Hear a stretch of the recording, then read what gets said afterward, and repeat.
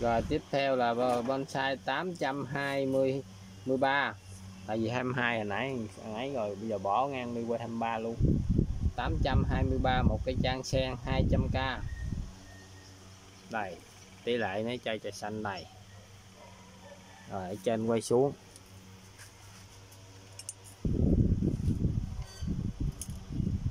Đang nhú bông rồi nha quý vị. Đây là ở trên quay xuống. Rồi, bây giờ bắt đầu. Tỷ lệ ngón tay. Bỏ chai trà xanh qua bên đi. Đây nè, ngón tay tôi đây, cây chăn sen này gốc nó bự lắm nha quý vị. Đó. Giờ quay qua, ngoài xa cho quý vị xem nè. Đó. Thấy không rồi rồi 200k nha. Không phí vận chuyển, không ship code nha.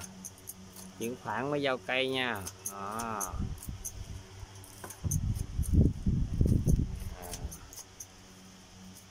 rồi, ok. Đây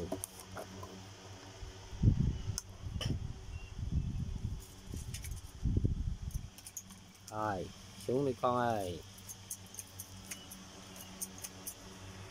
200 không phí vận chuyển không ship code nha.